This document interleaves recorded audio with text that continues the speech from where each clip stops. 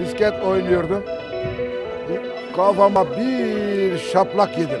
Tokat.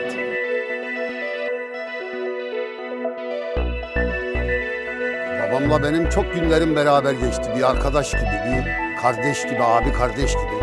Birbirimize çok yakındık. Bizim de kendine saygımız sonsuzdu yani babamıza.